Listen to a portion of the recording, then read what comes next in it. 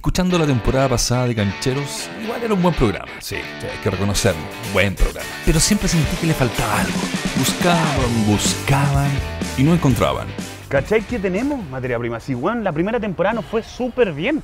Nos escuchó mucha gente. Tenemos todo para hacer un buen programa, pero como que nos falta alguien, falta un panelista. Era muy bueno Mauro, era muy bueno Mauro. Era extraordinario el viejo, pues, ¿cachai? Pero Bueno, igual se fue por una mejor opción.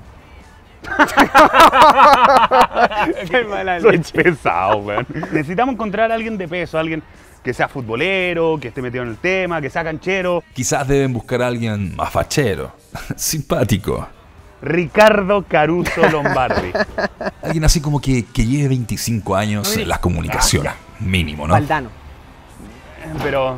sí, no te gusta pero- nada. También alguien que tenga mínimo, sí, pero mínimo, ahí. 35 mil seguidores en Twitter, de ahí para arriba, ¿no? bueno. Y Ah, no sé, Me gustó. que tenga una voz bacán. Nacho, Bueno. ¿sí? ¿Te sumáis? Dale, papá. ¡Eso! Cancheros.